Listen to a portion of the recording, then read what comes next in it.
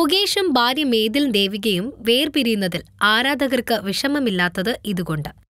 നന്നായി അഭിനയിക്കാൻ അറിയുന്നതാണ് പ്രശ്നം. ആരാധകർക്ക് അത് ഇഷ്ടമാണെങ്കിലും ഇത്തരത്തിലുള്ള അഭിനയം വീട്ടിലെടുത്താൽ എന്ത് സംഭവിക്കും? അത്രമാത്രമാണ് ഇവിടെ മുകേഷിന്റെ ദാമ്പത്യത്തിലും സംഭവിച്ചത്. ഒന്നിച്ചഭിനയിച്ച സരിതയെ ആയിരത്തി തൊള്ളായിരത്തി എൺപത്തിയെട്ടിലാണ് വിവാഹം കഴിക്കുന്നത്. കാലം കടന്നു പോകുന്നതിനനുസരിച്ച് മുകേഷിൽ വന്ന ഭാവമാറ്റങ്ങൾ ഉൾക്കൊള്ളാൻ കഴിയാതെ സരിതയ്ക്ക് മുകേഷിൽ നിന്ന് മാറി താമസിക്കേണ്ടി വന്നു. ഈ വിവാഹം കഴിച്ചതുവഴി സിനിമാ ജീവിതവും നഷ്ടമായി. മുകേഷ് സരിത ദമ്പതികൾക്ക് രണ്ട് ആൺമക്കളാണ്. ശരവൺ ബാബുവും തേജസ് ബാബുവും.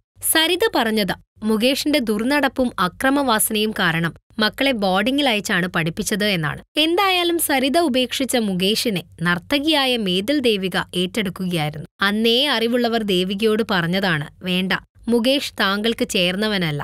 അത് സൗന്ദര്യം കൊണ്ടല്ല സ്വഭാവം കൊണ്ടാണ് എന്ന്. പക്ഷെ തന്നേക്കാൾ ഇരുപത്തിരണ്ട് വയസ്സിന് മൂപ്പുള്ള മുകേഷിനെ ആർക്കും വിട്ടുകൊടുക്കാതെ ദേവിക സ്വന്തമാക്കി.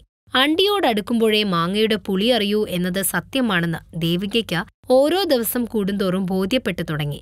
അവസാനം വക്കീൽ നോട്ടീസ് അയച്ചുകൊണ്ട് ദേവിക പറഞ്ഞു മുകേഷ് എന്ന നടനെ എം എൽ എയെ ഇനി എനിക്ക് വേണ്ട എന്ന്. അതെ കോടതി തീരുമാനിക്കും. അതുവരെ കാത്തിരിക്കണം. ദേവിക ഫിലിം കോട്ട് നിങ്ങളുടെ കാര്യത്തിൽ ഞങ്ങൾ ഉയരുകയാണ്. സബ്സ്ക്രൈബ്സ് ഒൻപത് ലക്ഷം കടന്നിരിക്കുന്നു. നന്മയും തിന്മയും അടയാളപ്പെടുത്തുന്നവരോട് എന്നും കടപ്പെട്ടിരിക്കുന്നു. നന്ദി. നിങ്ങളും ബെൽ ബട്ടൺ അമർത്തൂ. നല്ല വാർത്തകളുടെ നോട്ടിഫിക്കേഷൻ ഉടനെത്തും വിശ്വസിച്ച് ഒപ്പം നിൽക്കുന്നവർക്ക് ഒരിക്കൽ കൂടി നന്ദി.